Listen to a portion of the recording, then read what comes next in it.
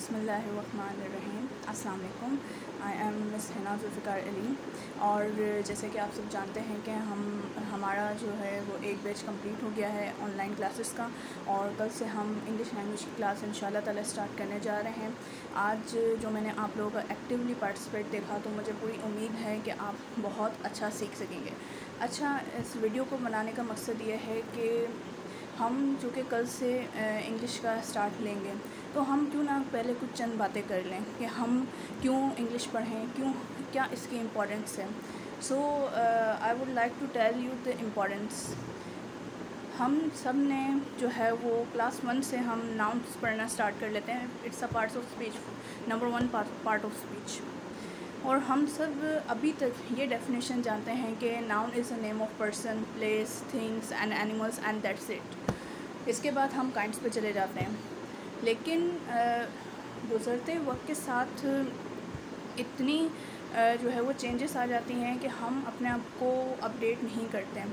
हमें ये नहीं पता कि नाम की डेफिनेशन अब चेंज हो गई है। तो अब इन कल से हम स्टार्ट करेंगे तो उसमें हम नाउन की न्यू डेफिनेशन हम पढ़ेंगे। इसके अलावा वर्ब की हम क्या डेफिनेशन पढ़ते हैं? वर्ब की डेफिनेशन हम पढ़ते हैं कि वर्ब मीन्स एनी एक्शन तो मैं आपको बताती चलूँ कि now the definition is extended यानी कि आगे इसको बढ़ा दिया गया है। वर्ब का मतलब एक्शन है any action like playing sleeping eating acting drinking लेकिन इसके साथ साथ इस डेफिनेशन को एक्सटेंड कर दिया गया है।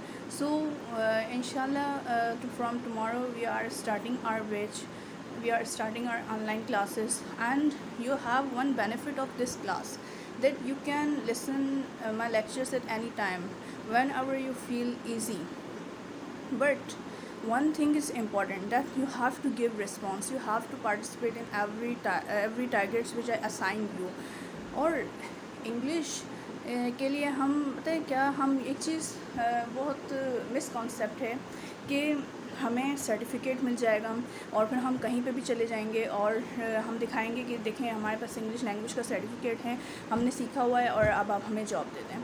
तो ये बिल्कुल गलत है। आप स्किल्स चाहे कोई भी, चाहे कंप्यूटर स्किल्स हो, चाहे कोई भी टेक्निकल कोर्स आप करते हैं इंग्लिश है, ये भी बेसिकली स्किल है। आप सर्टिफिकेट लेकर जाएँगे, वो आपके सर्टिफिकेट को पहले साइड पे उठा के रख देगा और बोलेगा, बताओ, कितनी इंग्लिश आती है आपको?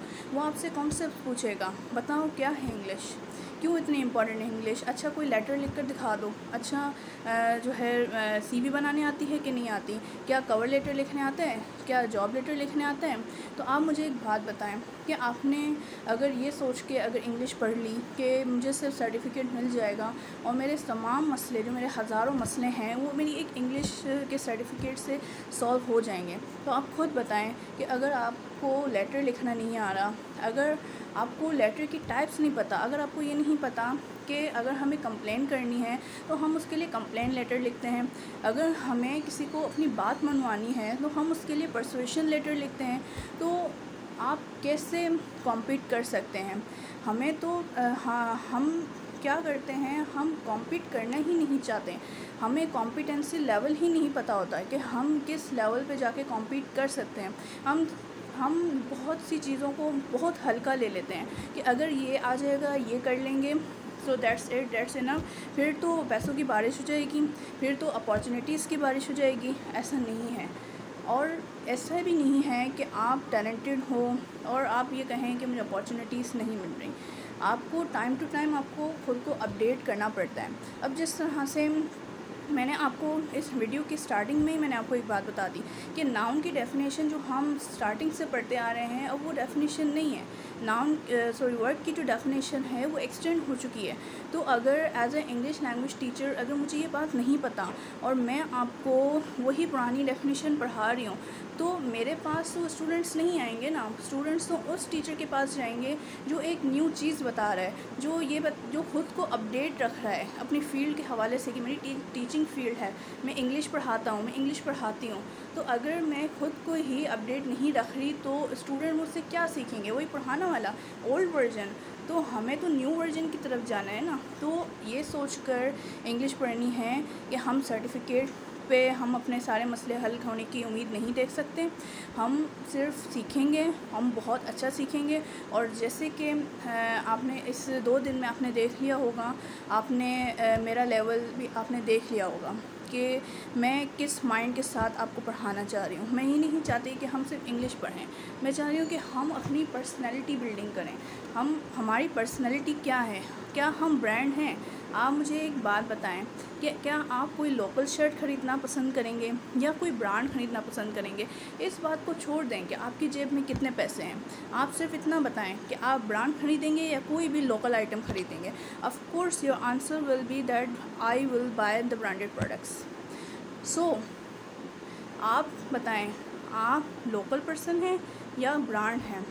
अच्छा ब्रांड कैसे बनते हैं? देखें, जो भी आप काम कर रहे हैं ना, उसमें आपकी एक्सपर्टीज़ होनी चाहिए।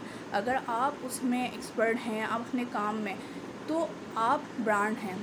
जैसे कि अच्छा मिस एक्सपर्टीज़ कैसे आएगी?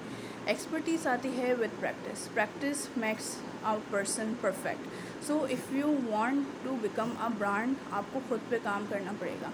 कल से हम इन स्टार्ट कर रहे हैं। बिस्मिल्लाह कर रहे हैं। अपने रजिस्टर बना लें। जो भी आपको वर्किंग करनी है जो आपने काम अभी तक नहीं निपटाए थे और आपने कल पे छोड़े हुए थे वो आज कर लें। कल से आपने इन पढ़ना है न्यू न्यू चीज़ें पढ़नी है। आपको मुझे पढ़, पढ़ाना है आपको मुझे बताना है कि मिस ये न्यू चीज़ है ये न्यू चीज़ है ये हमें पता चली है आप हमें ये सिखा दें ये ऐसा है कि नहीं है आप हमें मज़ीद एक्सप्लेन कर दें। टीचर को ये बात बहुत अच्छी लगती है कि उनके जो स्टूडेंट्स हैं वो बहुत एक्टिवली पार्टिसिपेट कर रहे हैं वो एक्टिवली आगे काम कर रहे हैं। तो अब मुझे आपसे बहुत अच्छी उम्मीद है और best of luck from my side अल्लाह ताला आपको बहुत सारी कामयाबियाँ दें। दुआओं में याद रखिएगा।